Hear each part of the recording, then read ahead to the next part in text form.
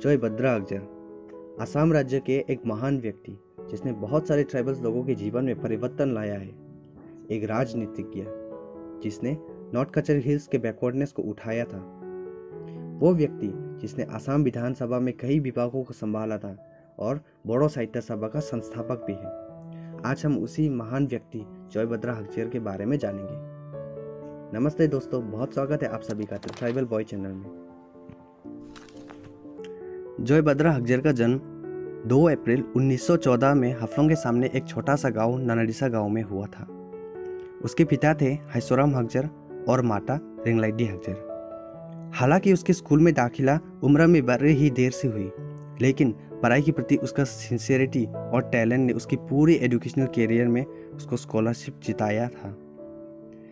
नानाडिसा गाँव हफलों के सामने होने के कारण उसका दाखिला मिशन स्कूल में किया गया। बाद में वहाँ से पास होने के बाद शिलोंग चले गए और मैट्रिक शिलोंग के गवर्नमेंट हाई स्कूल से फ़र्स्ट डिवीज़न लेकर पास किया। बाद में उसने इंटरमीडिएट आर्ट्स कॉटन कॉलेज से कंप्लीट किया 1936 में और bachelor of arts English honours लेकर mori Chand college, Sylhet Calcutta university के अंदर से 1938 में पास किया। और नॉर्थ कचर हिल्स, वर्तमान में डिमा हसाओ से पहला व्यक्ति बना ग्रेजुएट होने वाला। जब वो कॉलेज में थे, तब उसने नॉर्थ कचर हिल्स के डिमासा यूथ को लेकर एक प्रोग्रेसिव यूथ ऑर्गेनाइजेशन बनाया हिमस्कंग राउनी डॉल के नाम से, जिसका उद्देश्य धर्माधिक जनजातियों को एक दिशा देना था। वो ज़िले से पहले ग्रेजुएट थे, इसीलिए उसे अपॉइंटमेंट असिस्टेंट जनरल के रूप में किया गया और नौगाउन में पोस्ट किया गया। लेकिन वो लंबे समय तक उस काम में नहीं रहे। उसके घर से फ़ोन आने के बाद वो अपने ज़िले आकर मौजूदार का काम संभालने लगे, यानी कि रेवेन्यू कलेक्टर का काम।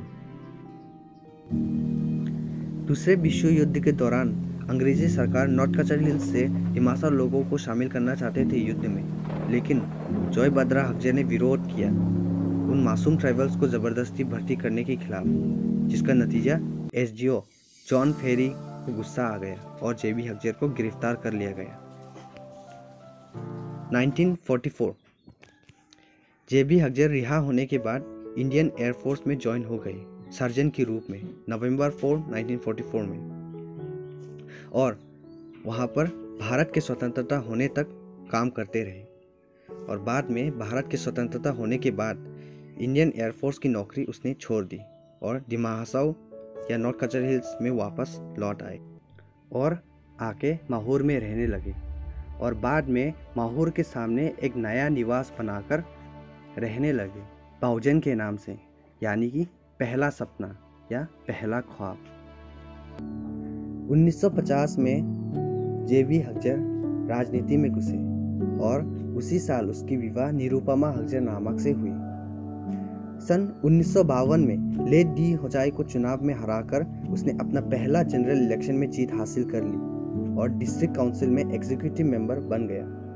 बाद में जेबी हकजर और उसकी पत्नी निरुपमा हकजर दोनों ने मिलकर ज़िले की भूमिका निभाई सार्वजनिक जीवन में। जेबी हकजर और सोनाराम ठोसन दोनों ने मिलकर बोरो साहित्य सभा की स्थापना की उन्नीस सौ बावन में और जेबी हकजर विष्णु मेदी कैबिनेट में पार्लियामेंट्री सेक्रेटरी भी बना और सन 1955 में वो डेप्यूटी मिनिस्टर पीडब्ल्यूडी का इंचार्ज बना और कुछ नए सड़कों का निर्माण किया।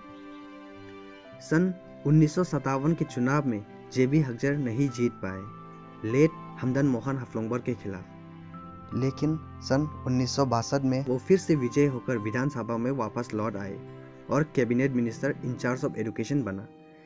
असम के मुख्यमंत्री बिमाला प्रसाद चालिहा के दौरान। जेबी हकजर असम के पहले ट्राइबल एमएलए बने, जिसे ऐसा प्रेस्टिजियस पोर्टफोलियो सौंपा गया था। सामाजिक और सांस्कृतिक संगठनों के साथ खुद को जोड़ते हुए शिक्षा मंत्री के रूप में जेबी हकजर ने जनता के कल्याण को सुनिश्चित करने में कोई कसर नहीं छोड़ी थी। जेबी हकजर की पर्सनैलिटी एडमिनिस्ट्रेटर से ज़्यादा फिलोसोफर की तरह थी। उसकी भाषण और बातें को बहुत सारे विद्वानों भी एक्सेप्ट करती थी। उस समय के आसाम की मुख्यमंत्री विमाला प्रसाद चलिहा अक्सर विधानसभा में और बाहर दोनों जगह जेबी हकजर की तारीफ़ किया करते थे। अपने समय में जोय बद्रा हकजर ने अपने सार्वजनिक जीवन की स्वच्छ छवि को बरकरार रखा था।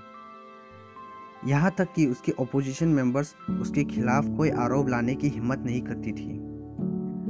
ओपोजिशन पार्टीज़ भी उसके बेदाग कार्याओं पर उंगली उठाने से कतराते थे।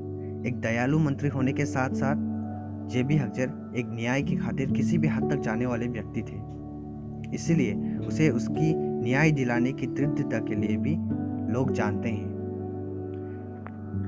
लेकिन उसे एक सोच हमेशा सताती थी कि उसके ज़िले के लोग और भाई बहन एक ऐसी जगह पर रह रही थी जिसकी अर्थव्यवस्था और बाहरी बढ़ती दुनिया के लोगों से कितने पीछे थे। उसका सपना था कि वो अपने लोगों को बैकवर्डनेस से उठाए और उसकी यही सोच उसके जीवन का लक्ष्य बन गया। अपने आराम को ना सोचते हुए उसने निरंतर अपने लोगों के लिए संकल्प के साथ काम किया। उसने पॉवर्टी को हटाकर खुशहाली लाने के लिए हर ज़रूरतमंद प्रयास की उसने सरकार से पहल की कि पहाड़ी ज़िले की ग्रामीण क्षेत्र के अर्थव्यवस्था को उठाने के लिए। वो अपने ज़िले के गरीब ग्रामीणों के कल्याण से इतना चिंतित था कि उसके अनुरोध पर शिलोंग के प्रसिद्ध मेडिकल प्रैक्टिशनर हफलोंग आकर पेशेंट को देखे। उनके खुद की प्रोफेशनल लॉस होने के बावजूद। राजधानी शिलोंग में रहने के बावजूद, वो व्यक्ति हमेशा ज़रूरतमंद लोगों के बारे में सोचते थे और पिछड़े नॉर्थ कचर हिल्स के ज़रूरतमंद लोगों के समस्या के बारे में सोचा था। सन 1970 में जेबी हेक्जर फिर से इलेक्शन जीता। और इस बार उसे cabinet minister tribal areas and development minorities and culture को संभालने के लिए नियुक्त किया गया। और सन उन्नीस में जेबी हक्जर चौथी बार एमएलए बना और उसे नियुक्त किया गया वेटिनरी एंड एनिमल हस्बेंडरी संभालने के लिए। जेबी हक्जर एक सच्ची मिसाल है, सदा जीवन और उच्च विचार जीवन जीने का।